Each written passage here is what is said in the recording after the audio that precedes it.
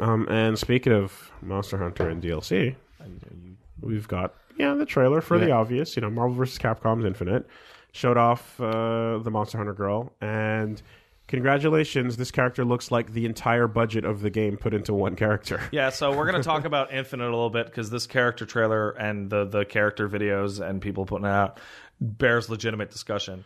Okay, so you don't know almost anything about Monster Hunter Woolie, right? No.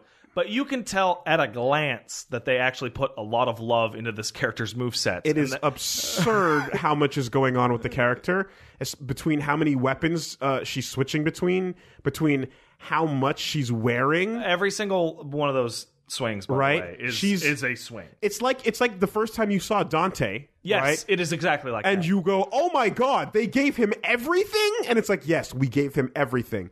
The ori- You- so you see that that the that sh- armored uh, sword swing, yeah, Yeah, that's something she doesn't currently have in existing games, but will have in World. soon. Okay, like it's kind of insane because yeah, the first time you saw Dante in Marvel Three, it was a moment because Yeah. you like it was like holy It's like they shit. can never live up to what this character can do, right? Dante does too much. and it's like, oh nope, They, did all of it. And so for we gave him 80 moves.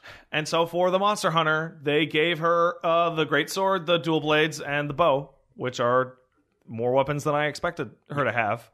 And she has all sorts of shit. She has her power shots for the bow. She has she has a command roll that works like Monster Hunter, right?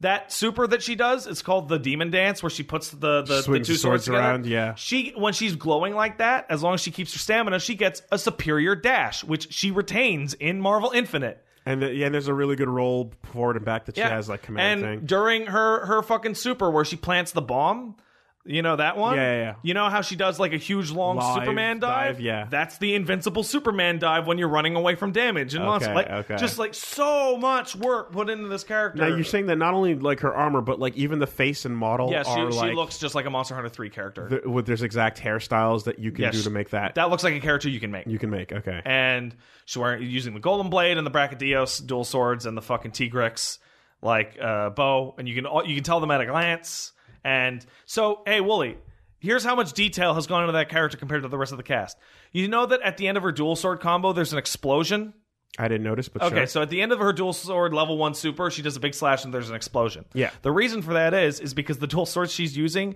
have the slime attribute, and slime builds up on a monster until it explodes after enough hits. Wow.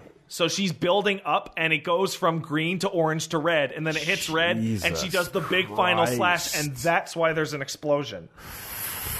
Why is there so much? So I love the, the, this character. This is a great fucking character. Why is there so much work put into this, and not other? Why is there so much work put into Abigail, Minot, and Ed It's weird. It's weird, dude. compared to the main game?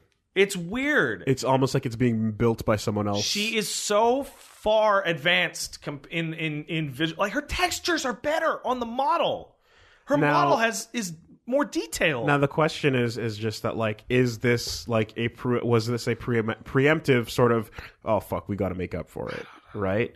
It could be, but I'll stand by the statement I've I've made, and I I, I forgot to say earlier in the show, but I said every other time is that I think the state of Infinite will be saved by the DLC.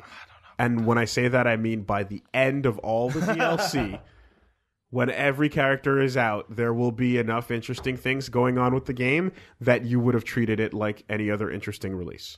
I think that the fact that a lot of that's going to be DLC is going to hurt it Oh, it will because people are going to have to shell out because for either the season pass So or whatever. I'm going to wait until it's completely done to get it. But if she was part of the base roster, I'd be playing the game right now. Because here's the other part about her now that besides all that crazy shit you just talked about, she has more moves than almost anyone besides Dante. Mm-hmm. She has, fi- I think, five supers. Oh yeah, And it's like no one has that level of options or whatever, and they just put so much into making her a faithful character that it, it like if that's an indication of where you're planning to go. Because here's the thing: this DLC. I I theory crafted this character like That's incredible. like five years ago, right? When Marvel Three was out, or whenever. I'm talking to some friends. I'm like, okay, let's say they make a Monster Hunter character because we want a Monster Hunter character. What would they do? Well, first th- first problem is what weapon do you give them? They solve that fucking All- problem. all of them. They three of fourteen, but still, that's a lot. Right? Hmm. And they're different types. There's a fast one, slow one, a range one. Yeah. Okay. Well, what would their supers be? It's like, oh, well, just give them five, Yeah. right? Yeah. Well, how would you how would you put the weirder stuff like the barrel bombs in? Well, I guess you'd make a super that incorporates them. It's it's Yeah. it's it's so impressive as to be disappointing.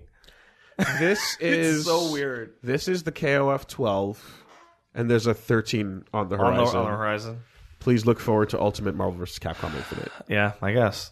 Which is a weird name or whatever it would be called. Marvel vs. Capcom. Double Infinite. Infinity um In- in- Infinity plus one. um, uh, Marvel vs. Capcom plus Ultra. And of, cour- Plus and, Ultra. and of course she's wearing the Rathalos set. because that's the most famous set. It's uh, the Rathalos is the, the the boss, the final boss of Monster Hunter One. Cool. So, So- so she's New Game Plus in. No, but what it means is that he's he's the he's the the flagship of the series instead of any particular game. And they went with a lady monster hunter probably because there's so few chicks on the cast, but also the male version of that armor covers the face. Yeah. It has a really cool visor, but Yeah. So that's that's a really nice uh, like thing, and like uh, I hope you can keep it up. you know what, Woolie? I got something else for you. Her her alternate colors. Her two her player two color? Are different suits of armor? No, her player two color is that in turquoise Okay. or azure. Sure. Guess what? That's the Azure Rathalos set. Okay. It's a subspecies. So it's another- It's yeah. a tougher. So like, Down to that. yeah, like Yeah. fuck, you know, Or so much there. So you know what it also could be is that whoever someone on the team is the biggest Monster Hunter mark in the world. You mean at Capcom? Someone in there? because Yeah. in the same way that it like D- Itsuno is the biggest DMC mark, Mm-hmm. and that's why like everything from DMC three is like done with so much love. Yeah, well, could, Could could be that. Could be. I hear Capcom might have a Monster Hunter fan or two. I I believe. Could you imagine? I could. That'd be crazy.